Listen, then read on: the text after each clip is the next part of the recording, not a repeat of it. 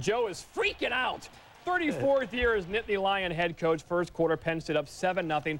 Look at Chafie Fields. The end around cuts it back. Three carries, 110 yards. Good day.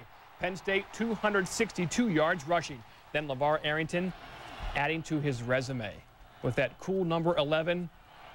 Early favorite for the Butkus Award and all over the field. Seven tackles in the game. Second quarter, Penn State already up 17 to nothing. Kevin Thompson was 5 of 8, 135 yards. Larry Johnson's only catch of the day. Breaks upfield, he's gone. A low angle 60-yard touchdown run. Penn State up 24 0 Three minutes later, Aaron Harris. Great move to the outside, missed tackle there by the Arizona defense, and Penn State's up 31 0 at the half. Now, Arrington left the game complaining of cramps and dehydration. He came back, signed some autographs, and Penn State to wear the question mark in Happy Valley again. With on their own 13. Score tied at 7, and look at Warrick go. 21 yards. Pretty standard stuff, really. Same possession. Seminoles on the move, and Warrick with an amazing run. Cutting back, 54 seconds in the half. It's a touchdown. Seminoles lead 14-7. Louisiana Tech's head coach Jack Bicknell III said, quote, I thought we had him tackled 15 times. I said, okay, he's down.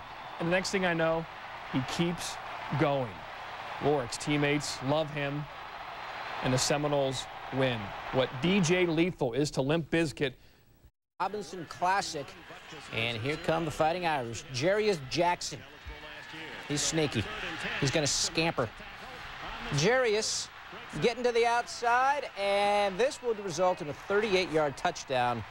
Jackson 85 yards on 12 carries. Push-ups, they're good for you. Irish up 20 to 6. Zach Wegner looking for John Chandler. Nice pass, nice catch. It's 20 to 13 Notre Dame at the half. Things getting tight. The backup QB Arnaz Battle to Tony Fisher, who needs Autry Denson. Look at Tony Fisher, 46-yard ramble. And the Irish go on to win at 48-13. Fisher with 111 yards on the ground. If it's possible to be sloppy and win quarter 10-9 Texas, Major Applewhite for Victor Ike. Ike finds some sideline, and nice move right there, and see you later. 80 yards makes it 17 to 9 Horns. Still 17-9 in the fourth.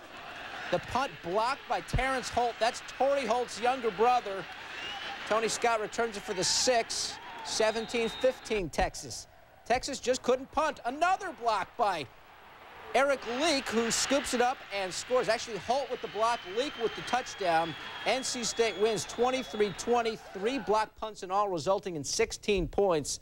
Texas with one of the best recruiting by fewer than 10 points. Would this one be a blowout? Kevin Kelly, it sure looked that way. He handed off to James Jackson. This is just the Hurricanes' second play from scrimmage. He goes 44 yards for the score, 7-zip Miami. It's 9-7 Ohio State in the second quarter. Steve Bellisari for Ohio State fumbles the snap. Hurricanes recover. Ohio State turned it over four times in the game. Kelly, naked bootleg. A flag was thrown on the play. We found out later inadvertently. Touchdown would stand. They'd had a two-point conversion, 15-9 Miami.